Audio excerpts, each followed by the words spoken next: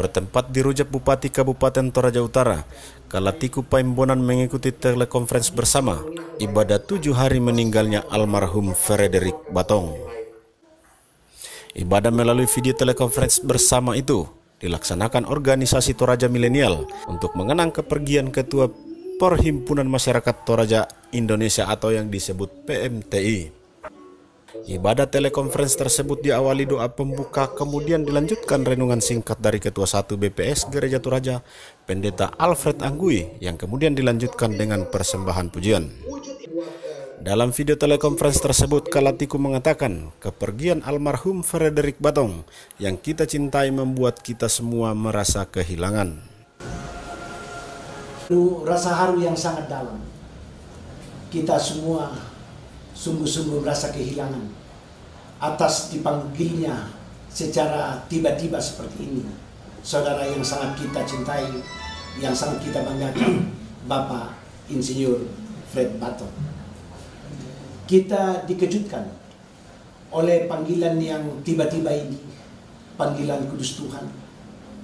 Dan kita semua memandang dalam iman yang dalam bahwa inilah yang terbaik bagi saudara kita.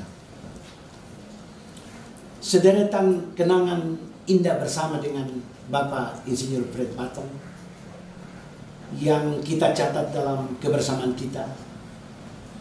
Prestasi, kinerja, dan success story yang ditunjukkan dalam perjalanan karir dan hidupnya membuat kita sungguh-sungguh merasa kehilangan dan ingin masih bersama-sama lagi dengan uh, almarhum. Begitu banyak catatan yang membuat kita selalu mengenang beliau, terutama dalam kepeduliannya dan seluruh perhatiannya kepada masyarakat Toraja dan pembangunan di Toraja.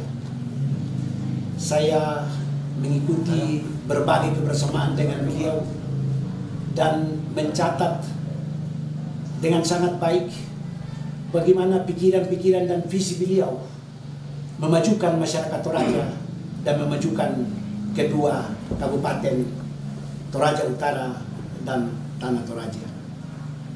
Kita memberi penghormatan yang setinggi-tingginya atas segala kebaikan dan prestasi yang ditunjukkan.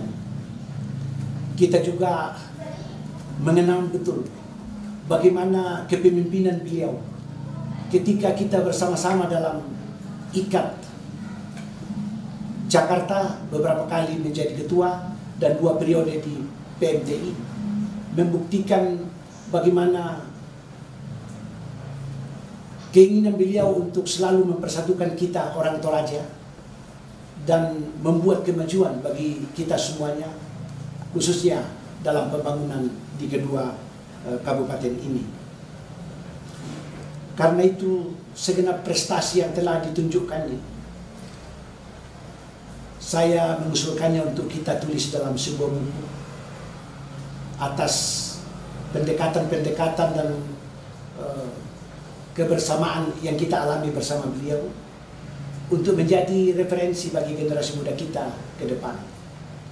Kita kehilangan seorang pemimpin yang konsisten, pemimpin yang benar-benar uh, sangat profesional, disiplin, dan karena itu saya merasakan bagaimana luar biasanya kepemimpinan beliau, terutama ketika uh, menjadi uh, apa yang disebut oleh teman-teman panglima pemenangan ketika saya menjadi uh, calon bupati empat tahun yang lalu di Toraja Utara.